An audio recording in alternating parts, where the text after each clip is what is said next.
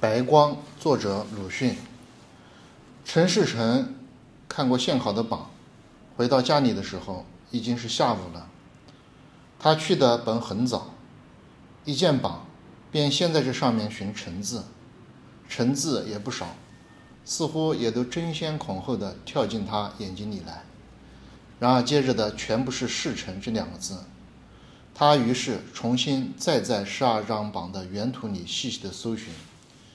看的人全已散尽了，而陈世成在榜上终于没有见，单站在寺院的照壁的面前。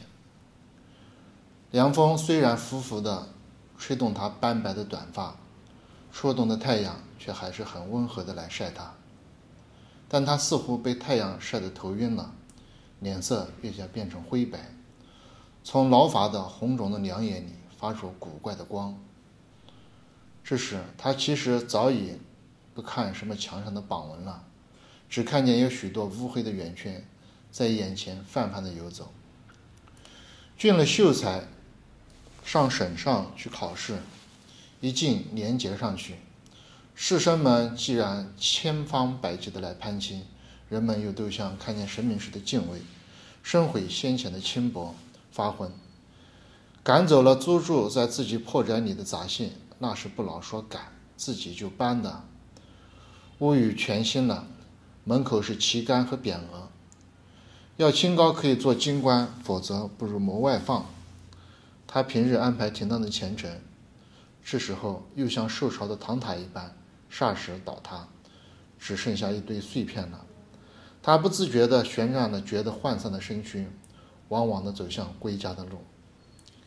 他刚到自己房门口。七个学童便一起放开喉咙，只得念起书来。他大吃一惊，耳朵边似乎敲了一声磬。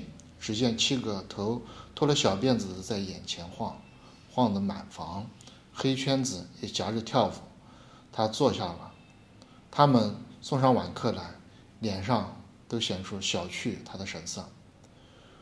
回去吧，他迟疑了片时，这才悲惨地说。他们胡乱地抱了书包，夹着一溜烟跑走了。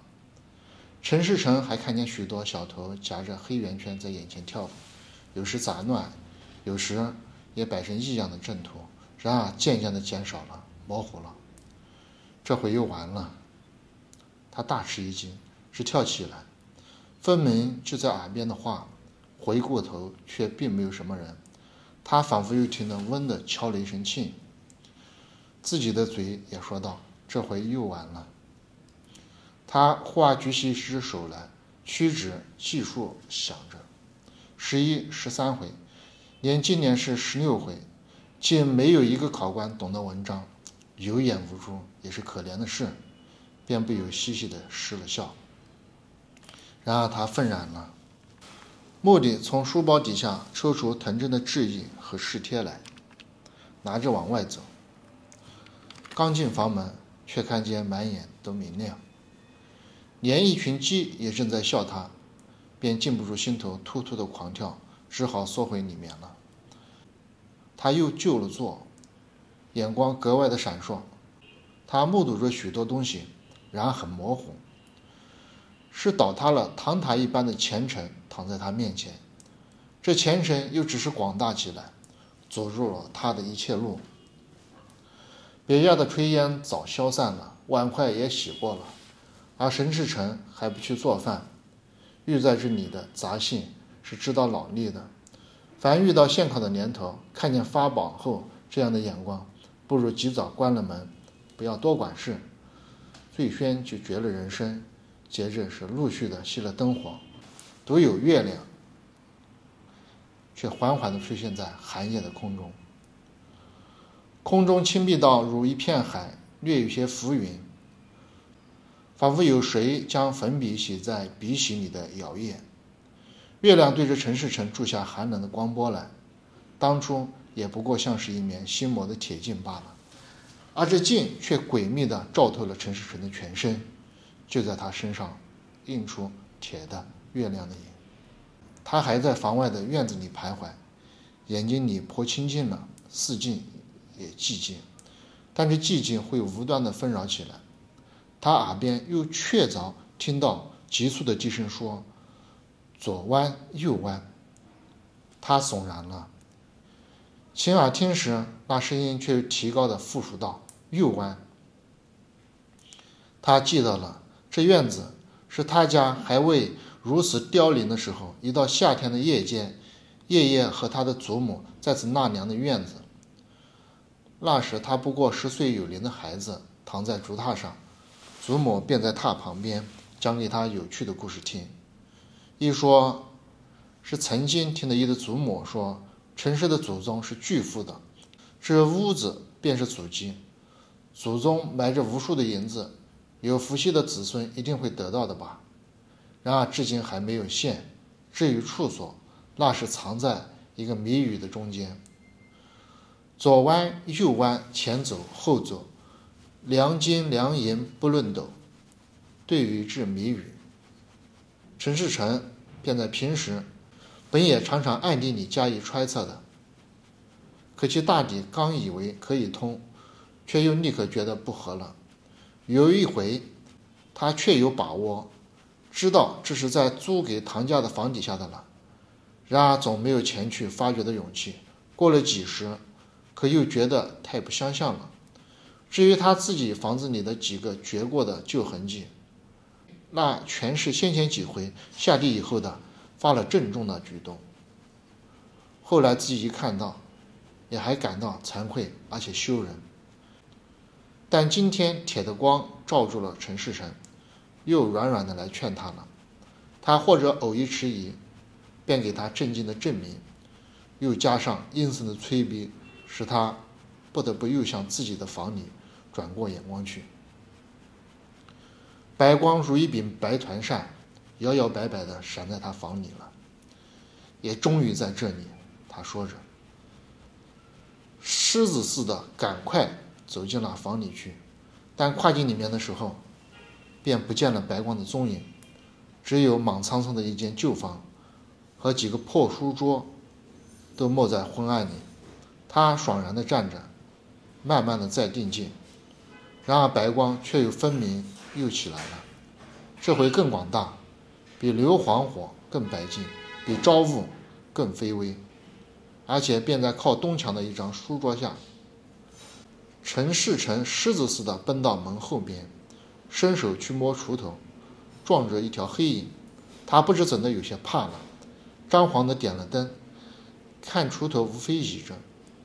他移开桌子，用锄头一气撅起四块大方砖，蹲身一看，照例是黄澄澄的细沙。炫了袖，扒开细沙，便露出下面的黑土来。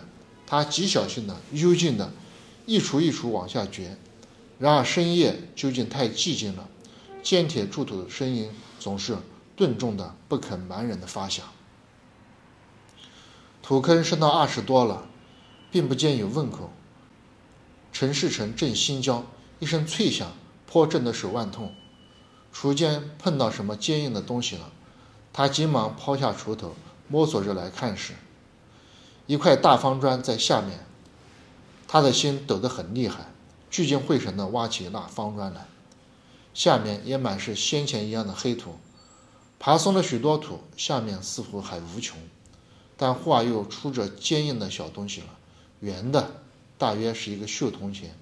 此外，也还有几片破碎的瓷片。陈世成心里仿佛觉得空虚了，浑身流汗，急躁的直爬骚。这期间，心在空中一抖动。又触着一种古怪的小东西了，这似乎略略有些马掌形的，但触手很松脆。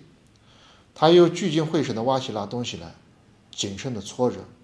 就灯光下仔细看时，那东西斑斑驳驳的，像是烂骨头，上面还带着一排零落不全的牙齿。他已经悟到这许是下巴骨了，而那下巴骨也便在他手里索索地动弹起来。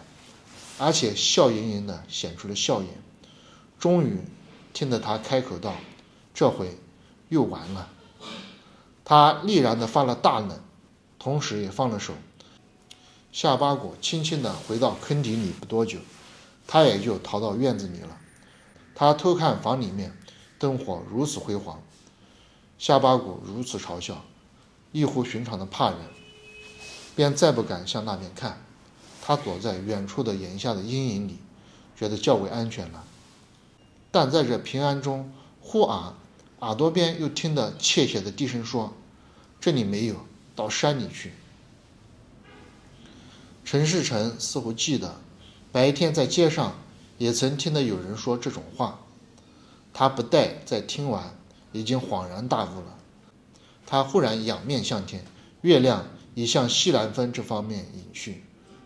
原想离城三十五里的西高峰正在眼前，巢户一般黑黢黢的挺立着，周围便放出浩大闪烁的白光来，而且这白光又远远的在前面了。是的，到山里去。他决定的想，惨然的奔出去了。几回的开门之后，门里面便再不闻一些声息。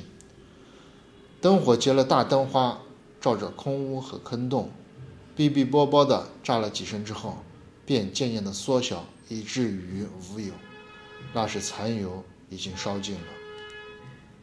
开城门来，含着大希望的恐怖的悲声。游丝似的在西关门前的黎明中，战战兢兢地叫喊。第二天的日中，有人在离西门十五里的万流湖里看见一个浮尸，当即传扬开去，终于传到地保的耳朵里了，便叫乡下人捞将上来。那是一个男尸，五十多岁，身中面白无须，浑身也没有什么衣裤，或者说这就是陈世成。但邻居懒得去看，也并无实情认领，于是经县委员相验之后，便由地磅埋了。至于死因，那当然是没有问题的。剥取死尸的衣服本来是常有的事，够不上疑心到谋害去。而且仵作也证明是生前的落水，因为他确凿曾在水底里正命，所以十个指甲里都满嵌着河底泥。